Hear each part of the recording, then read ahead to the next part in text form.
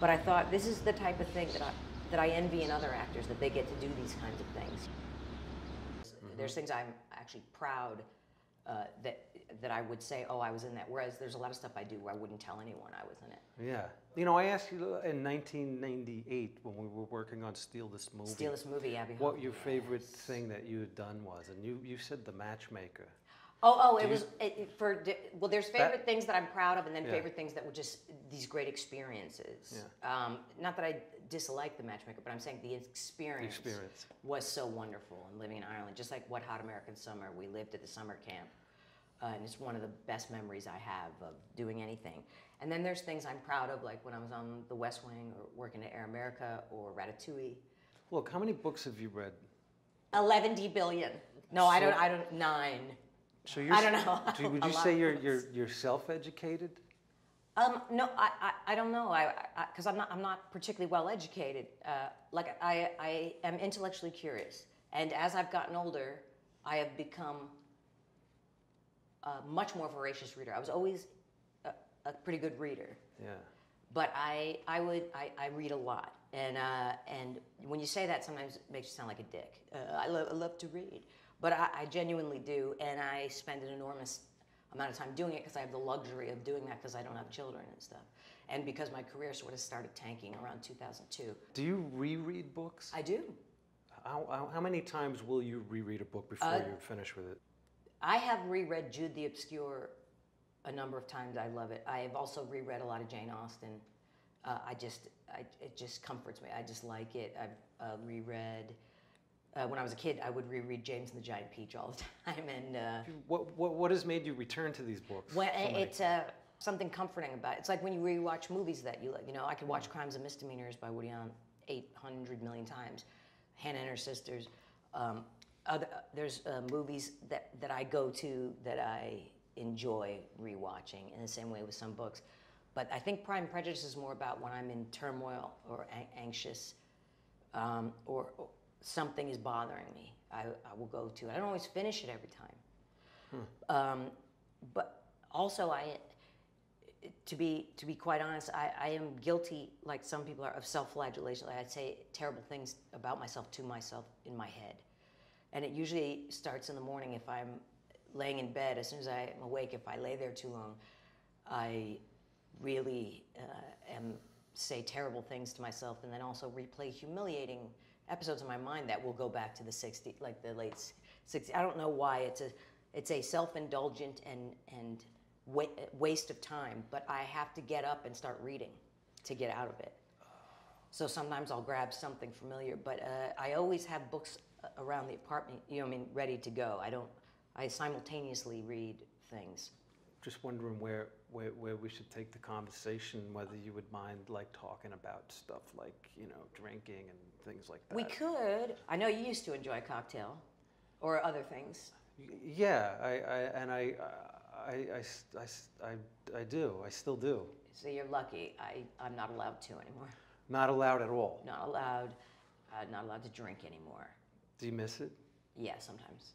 I miss the camaraderie. Sometimes I miss the um, when people late night are talking. I don't miss some of the wilder stuff because I'm older. Um, it, but I used to very much enjoy. You never knew what was going to happen. You know what I mean? Like once you start drinking, I- where's this night going? Now, nine times out of ten, it was going to go awry somewhere. But when you're young, that's fine. And then it started, you know, I would be drunk on set, you know, when I was working sometimes or hungover so badly that I would have to drink during the day. Uh, and then when, when that gets found out by some, especially if you're female, you're dead. Like that's, you can, you can be a male and do that, um, especially if you're a draw. But uh, word gets around very quickly if, you, if you're a female doing that. Because it's perceived as crazy as opposed to just, he likes to party. Um, but anyway, so in two, I quit in 2001, just stopped.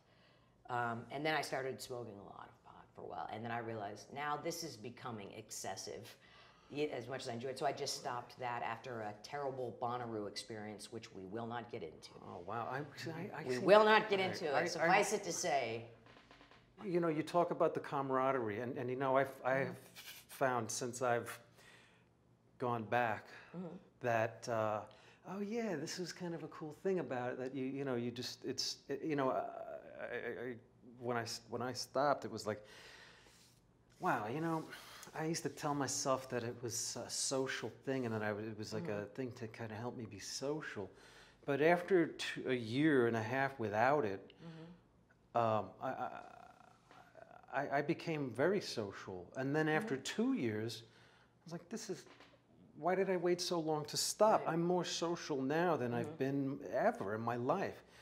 And then, you know, after six and a half years, things just, you know, I, I was like, well, you know, maybe I'm gonna, I'm gonna start again for, for one reason or another. It makes it easier to talk to people. I mean, it just there's no denying that a couple of drinks uh, make for a convivial atmosphere. Yeah. And especially if you go in alone. To, I used to enjoy that too, uh, especially when I was traveling.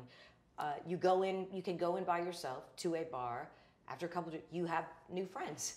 You know what I mean? Like you're just talking, or and you're Yeah. having, especially if it's the type of bar that's conducive to that. I'm not talking about big sports bars or something, Right. but like the local, wherever you are. There's something nice about it, and. Uh, what happened to me though is is I have a problem with moderation. You know what I mean? Like it, it's every night was was to blackout status, and then you know what I mean that kind of thing. Coming out of a blackout at six in the morning in Greenpoint. You know what I mean? Like this is before Greenpoint. You know, it was Greenpoint. This is back in the when you Before it go, was a- why am I? before it was a nice place to before it was wake a nice up. place to wake up, or I'd be in somebody's apartment, strangers, total strangers. Which of course they weren't strangers, I'm sure when I was whatever, somehow we've gotten there. Or I, when I lived in LA, I would drive drunk uh, because you are forced to, and I wouldn't even remember leaving a bar or anything. But my, I was home, right, and I drove.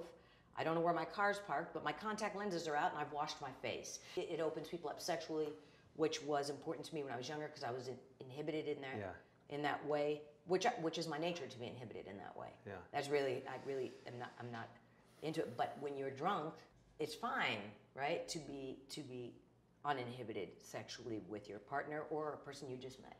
you, you you wake up in the morning with that that that abusive voice, Yeah. you know, self flag flagell- flagellating. I think. Self self flag whatever, you know, beating yourself up. Yes. And you, you, you, I think we were talking in the context of reading and why you read as much Mm-hmm. as you do, and uh, and, and and I guess that's why maybe some people drink excessively to to to to. Mm-hmm. To quell the put, voices, Put yeah. out that chatter, you But know. it's worse. I, I, I agree. That, well, in my case, anyway, uh, it would stop the voices temporarily. As soon as I got the buzz where I needed it, I felt very confident, and I didn't. I didn't uh, constantly second guess everything I was doing. Now, having said that, after a while, when you wake up in the morning, it's twice as bad. It's seventy times as bad, and you wake up feeling, oh, who do I owe a phone call to? Who do, who do I need to apologize to? Why am I covered in bruises? Who is that? It's just a, you know, constant, it's way worse. And then you drink again to get rid of that. And um, it's, it, my life is much better without it. Yeah. But I definitely had some very good times until it, it wasn't.